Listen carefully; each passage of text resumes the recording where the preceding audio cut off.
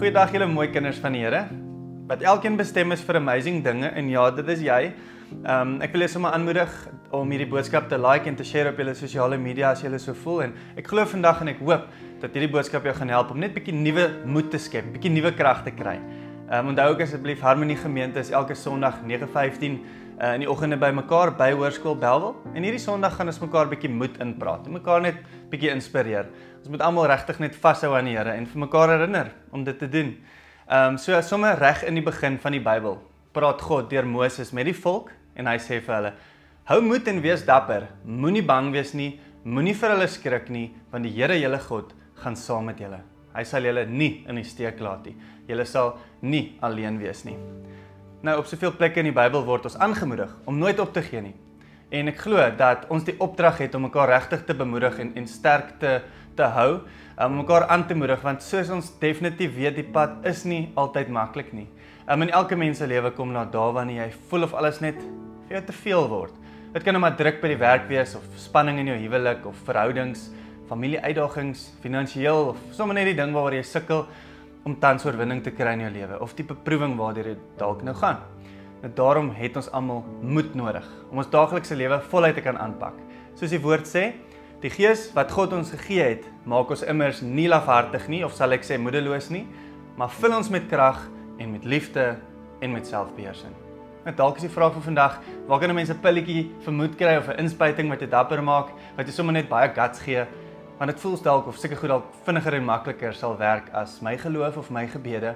Maar wat ek wel geleer het in my eie verhouding met God is dat die wat wag en wat moet hou terwyl jy wag, wel beloon word. Die uithouers, die aanhouers, die deurdrukkers. Daar is beloning in die wag. So ons kan dit ook natuurlik net doen as as ons God se Heilige Gees in ons het. En as jy die Gees kans gee om by jou adres, by jou lewe, jou hart in te trek, dan begin die groot dinge gebeur. Baie groter en kragtiger as 'n pilletjie 'n inspuiting. Die Heilige Gees kom bly by ons en hy veroorsaak groot groot aksie in my en jou lewe as ons hom toelaat. Nou toe die Heilige Gees by Dawid se lewe ingetrek het, het God dadelik kragtig deur hom begin werk. Almal kon dit sien, almal kon dit ervaar. Dawid se hele lewe het verander. Hy was skielik vol van die Gees en Geesgedrewe. Jy sien wanneer 'n mens nuwe moed skep, wanneer jy besef dat dit God se Gees in jou is, is daar 'n resultaat.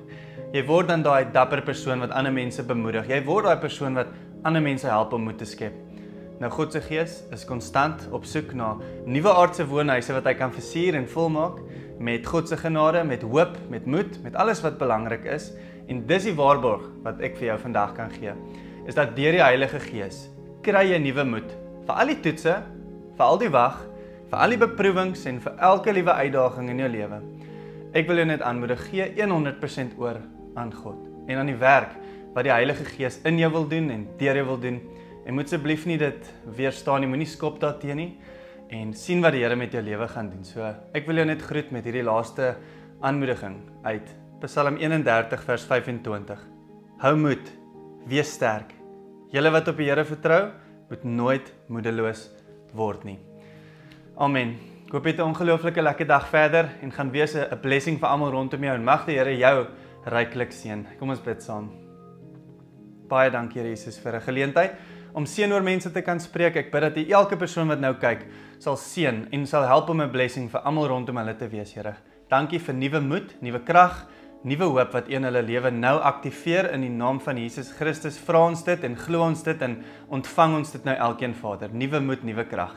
En ons dankie Here dat U vir ons so goed is en dat U goed is vir elke persoon wat nou kyk en luister. Seën hulle Vader in die wonderlike naam van Jesus. Amen.